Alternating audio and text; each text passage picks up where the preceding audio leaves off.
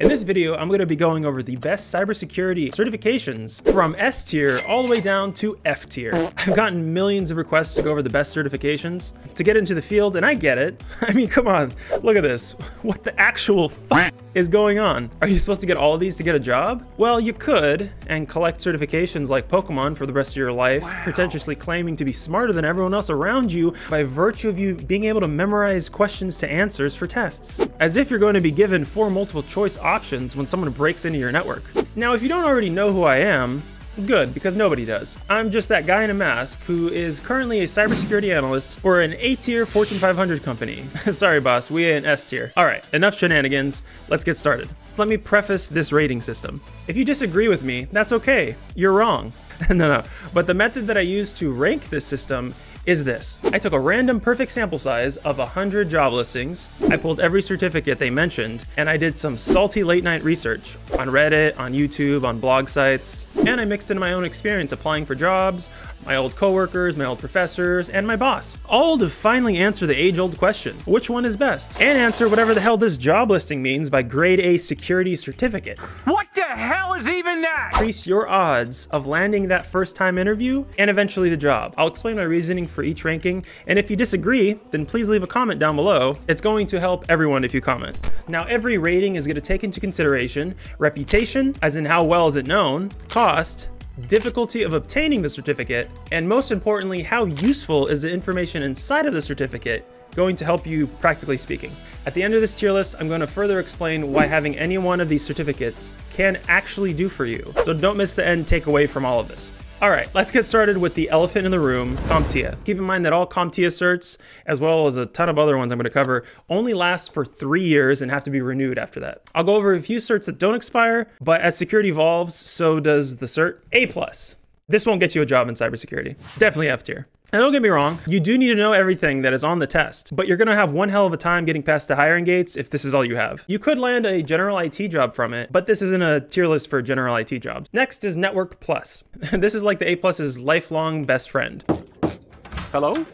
I love you. You'll learn the basics of networking and could get a job as a network intern or associate, but good luck landing a security job with just this. Plus, you do need to know everything that is on this test. And in my sample size, I saw it asked for one time. And for that reason alone, it's a D tier for definitely not gonna get you a job. Security Plus. Oh boy. this is that one popular kid in class. Gets all the attention, but really isn't all that smart. This one is the goaded gatekeeper of a massive amount of jobs. By gatekeeper, I literally mean it is sometimes required for you to have the job. Now, something that I discovered on LinkedIn that maybe a lot of people don't know is that the parsing for the search bar sucks a good amount more than Indeed. If I had to rank job boards, LinkedIn, you're losing points for this.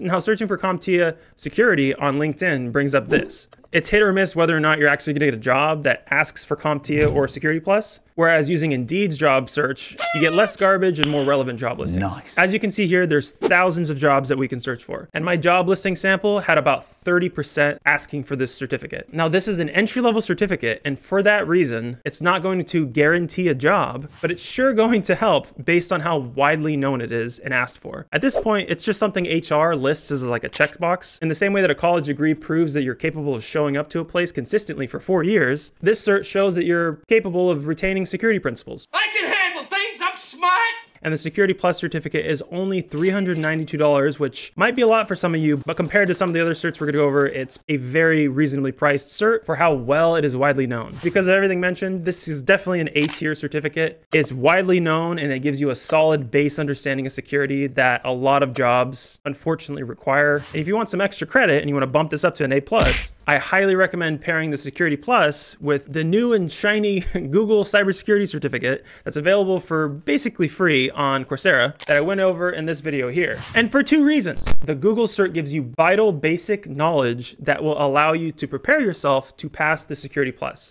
And it gives you a discount voucher for 30% off of the Security Plus. So pairing it seems kind of like a no-brainer to me.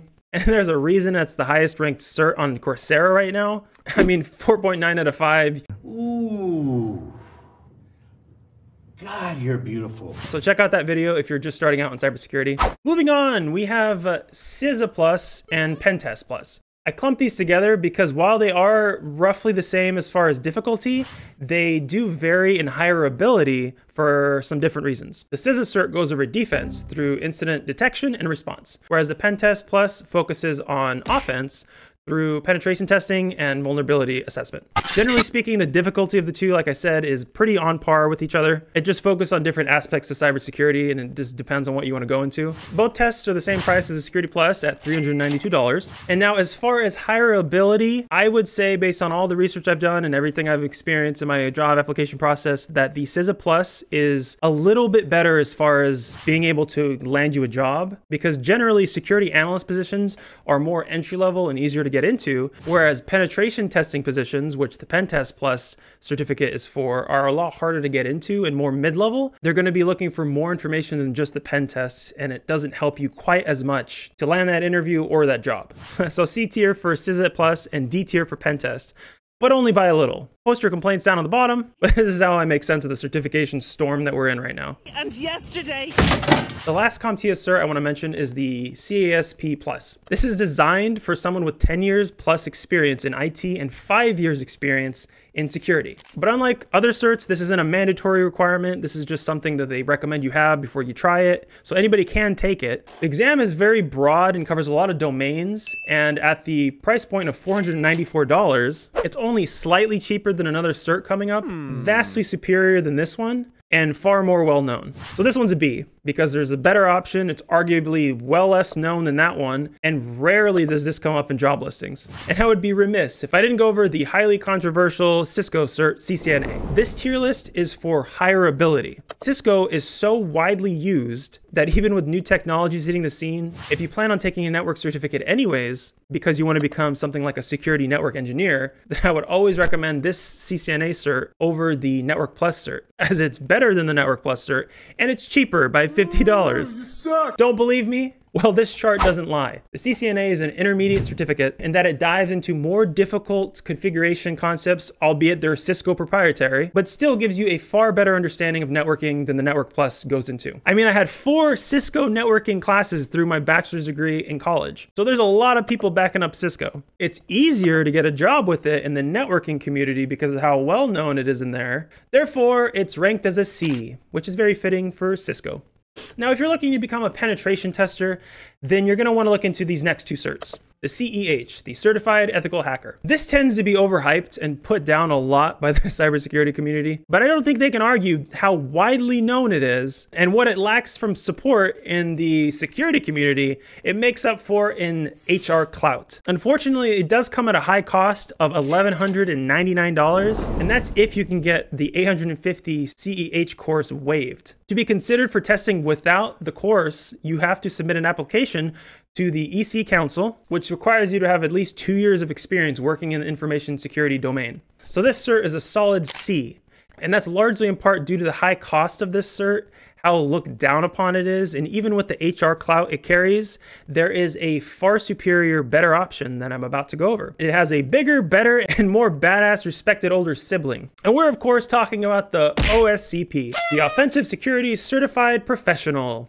This does come at a higher cost, and at one point, it was apparently available for like a thousand bucks, but they've upped their prices. The self-guided individual course is $1,599, which includes 90-day lab access and one exam attempt. The Learn One subscription is $2,499 a year and provides a lab access for one year and two exam attempts. And if you're absolutely loaded and have bottomless pockets, then for $5,499 a year, you get unlimited attempts to pass the test. Now, this test requires you to do live network penetration testing for 24 hours with questions as part of the Open Security Certification Program. This cert is for life. So unlike the previously mentioned ones, this one does not expire. And this kind of confirms its superiority to the Certified Ethical Hacker certification just because it lasts forever that means that it has to be far more difficult. And given how more respected the certificate is and how it only costs a little bit more than the CEH cert, this makes it far more superior. It carries just as much HR clout as the CEH, and it's not looked down upon. This is an A tier certificate. My boss looks down at the CEH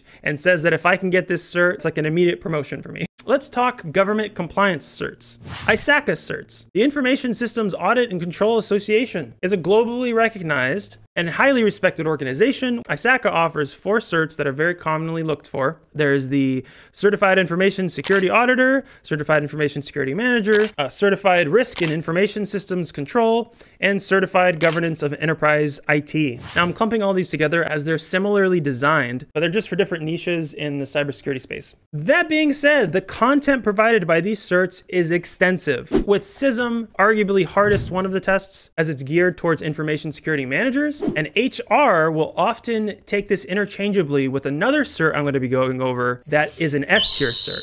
But sadly, these are all just A tier certs. They're reasonably priced at $760 a pop. They're well respected and well known. They're just not quite living up to other certs that you could hmm. get that provide the same and more clout and more reputation and hireability. Now below ISACA certs are GIAC certs, Global Information Assurance Certifications. There's only a couple issues with these the price, and they're not as well known as other certs. It's a shame because they are on par with the other certs, but because of the aforementioned issues, we have to rank them below the ISACAs accordingly. In my job sample list, the, the GSEC cert was only found one time, and it's just as difficult as a Security Plus, but costs three times more. C tier. Sorry, just do, better. The remaining GIAC certs are incredibly practical as far as the content and provide far more bang for your buck for that $949 price point. So for that reason, the rest are B tier. Now, if you can get any of these GIAC certs paid for by your current employer, then they're A tier for practical content, only hindered by their lack of reputation. If a man in the middle of a forest earns a certificate and no one knows about it, does he get a job? Now, something I didn't mention about the previous certs and that is a pro for the GIAC certs is that they do offer a slight discount at $100 off your retake test, whereas the CompTIA and the ISACA certs do not have that. You only get one attempt to take it. If you fail, you'll lose the money that you spent towards the cert. So don't fail. But at a starting cost of $949, it's not really that much incentive if you only get a $100 discount on the next test. The next cert deserves a drum roll. Ladies and gentlemen, boys and girls, the cert you've all been waiting for.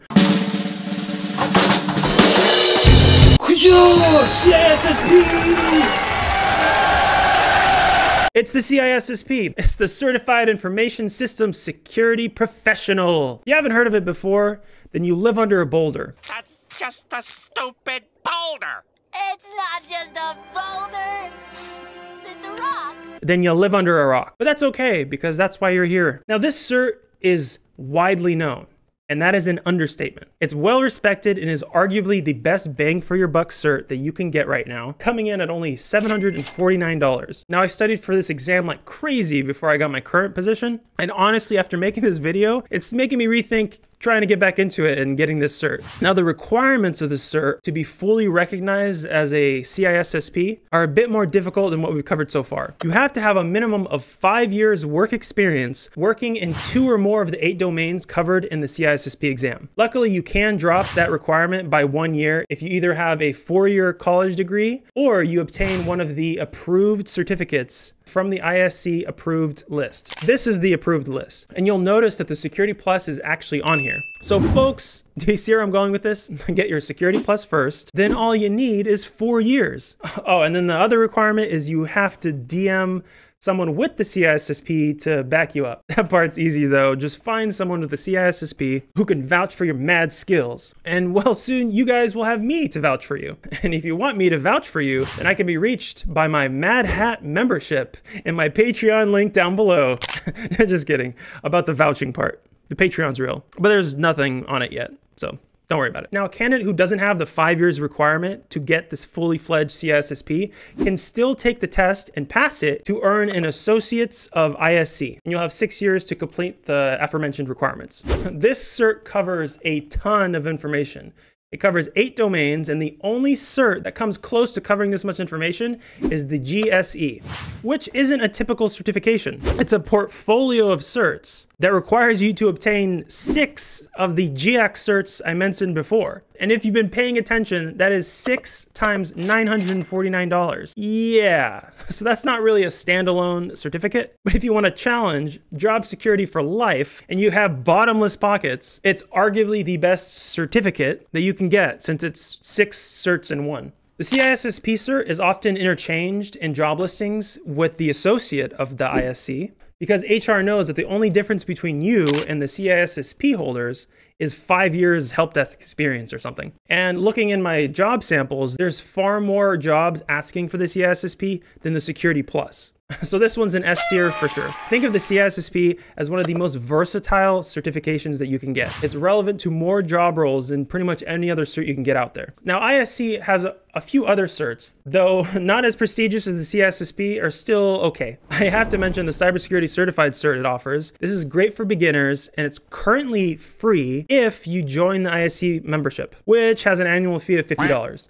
So it's not technically free, but this is kind of a worse version than the Google cert I mentioned earlier. It does prepare you for the Security Plus, but it doesn't cover nearly as much as the Google cert, and it doesn't give you a 30% discount for the Security Plus cert. So not really worth it. For that inferiority reason and the fact that nobody asks for this cert and will not land you an interview, it's similar to the A Plus cert, it's, it's an F, my dude. Next up is the System Security Certified Practitioner that they offer. This test is easier than Security Plus, and it's less known.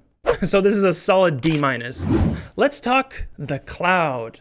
This is where the real money is at right now. This is where everything is headed. The level of demand for cloud security certs is going through the roof right now because it is arguably the newest domain in cybersecurity, ISC's CCSP, the Certified Cloud Security Professional, which is fabulous, absolute banger of a cert, but there's only one problem. It's not the OG cloud cert. The title of mother of all cloud certs is given to the CCSK, which is the Certificate of Cloud Security Knowledge. This is quite literally the industry's first examination of cloud security knowledge when it was released back in 2010. So, so the CCSK covers comprehensive knowledge of cloud security, while the CCSP covers the same knowledge with a lot more of CISSP governance topics and domains mixed in. The CCSP also requires the same five years of work experience in security domains in order to obtain the official title of CCSP, whereas the CCSK has been around for longer, costing $395 compared to the CCSP's $599. It can be taken from the comfort of your own home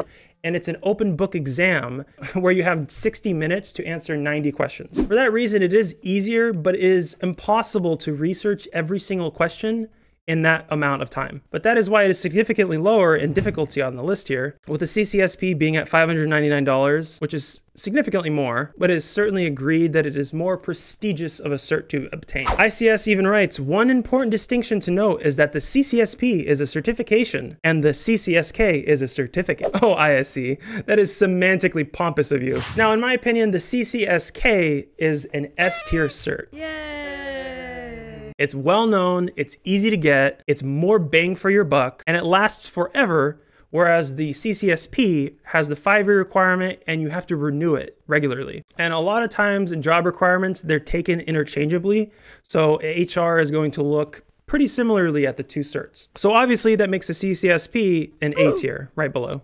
Maybe, maybe A plus if we're being semantically generous. And while we're on the subject of cloud certs, Azure security certifications. These are legitimately slept on. My ex-coworker landed a job as a Azure engineer with just a an associate cert alone. And for $164 and a significant amount of companies utilizing Microsoft software, this is a solid A choice. It's arguably just as easy to land a job with an Azure certificate as the Security Plus certificate. So I really have no no choice but to put it in this tier, considering it's cheaper than the other mentioned certs. Azure also offers multiple paths to advance in your certificates, and you can build your knowledge in advance into the Microsoft Certified Cybersecurity Architect Expert. Now, I know some of you are thinking, what about AWS? Well, AWS doesn't have quite as many certificate paths. So for that reason, and not even gonna mention it, Sorry, you didn't make the cut. There's also Google's Professional Security Cloud Engineer cert that you can get. At $200, this is a decent option, although not as widely known or as sought after as the Azure certs. It's also significantly easier than the Azure cert, as you can see in the list here. So for that reason, we got to bump it down a few because it's not as well known and is probably not to land you a job. So we're to have to bump it down to the C tier. That's enough for cloud. We're approaching the end of the list and there's only a couple special mentions left.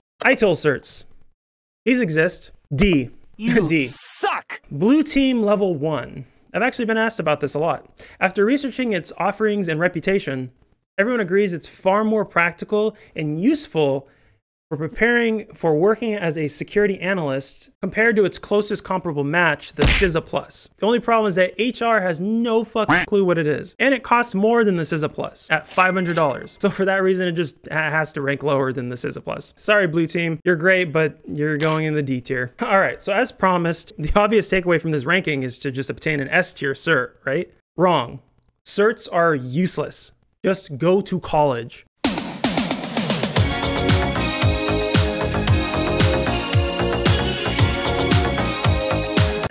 Gotcha. No, but seriously, none of these certs are going to guarantee you a job because you still have the interview for the job to get through. And even if any one of these magical certs gets you past the HR gates and into a Zoom call with the hiring manager, if all you did was cram for a test and fail to apply the knowledge to building a portfolio of security projects, of hacking tools, or documenting anything along the way, then you're going about it all wrong. You'll most likely sound like someone who doesn't know what they're doing and not fully committed to the field. And now this is especially true for the entry level certs mentioned. Generally speaking, the certifications lower on the list are less likely to get you that first time interview or much less a job. So really the whole purpose to getting a cert is just to increase your odds of getting a job. And the harder the test, the more likely you're able to retain some semblance of proficiency in whatever you learned. And the easier it is, the more likely you're going to forget everything that you crammed for, as it probably took less blood, sweat, and late night tears to obtain. In this chart, you can expect the bottom to probably increase your odds of getting an interview by 0 to 10%. And it goes up from there exponentially. And at the very top of the list, we have the very last cert that I wanted to go over before all of you forget this video ever existed the God tier certificate.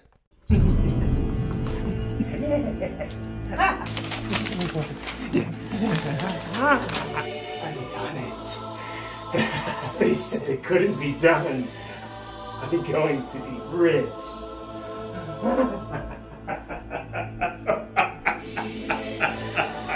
Please subscribe, hit the bell, like this video, share it to your friends. Thank you so much for watching, everyone. We'll see you in the next video.